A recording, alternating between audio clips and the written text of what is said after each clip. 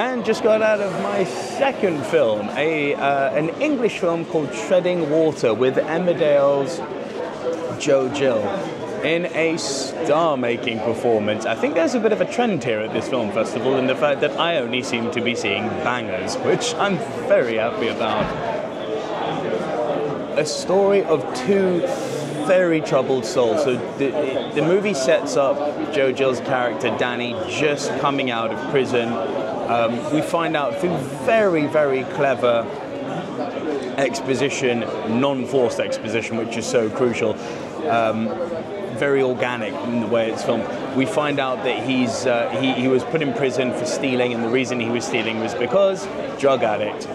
And while released, he makes his you know he, he ends up in uh, in a sort of rehabilitation home, an outhouse type thing, where he meets other troubled prisoners uh, or former prisoners, and um, the the kindred spirit who he links with is a childhood friend who is now a hooker.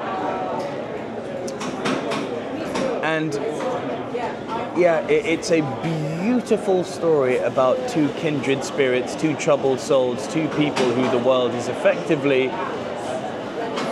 chosen to toss aside like yesterday's rubbish, finding the promise of peace and the solace of rest in each other's company, and I mean rest for the human, the human spirit.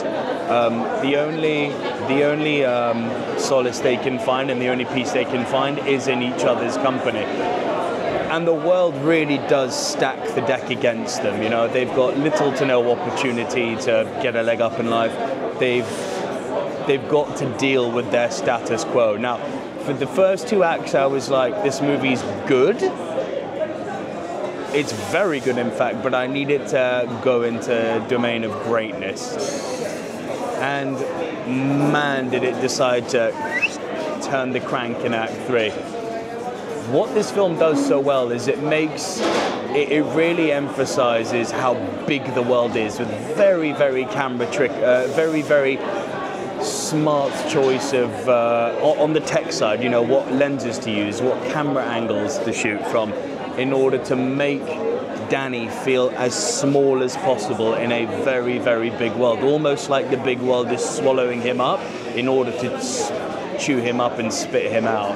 Um, to brilliant cinematography to complement the really visceral story. But I mean, it, it's a tough watch, man. Like horrible drug scenes, um, domestic abuse. There's, and in typical British fashion, when British films decide to go gritty, they really don't shy away from from showing every single horrible detail imaginable.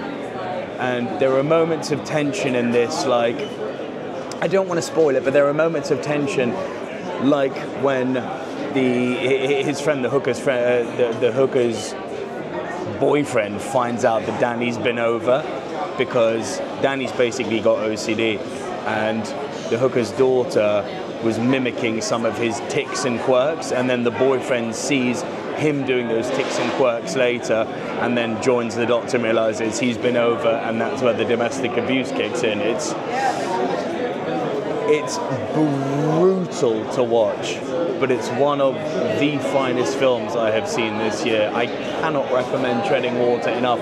Once again, I'm going high here. This is a top five of the year for me. I think, oh God, what do I score this? I think I'm going to have to go 9 out of 10 for this film. The only negative I could really find for it is the fact that it does the second act drags ever so slightly. Like I looked down at my watch and I thought, oh wow, we're only like an hour in. This feels quite long.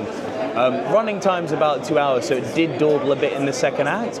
But man, was the payoff worth it. The the the tragic culmination of events. It's one of the films of the year, man. Treading Water, if you haven't seen it, seek it out. It's one you absolutely must watch.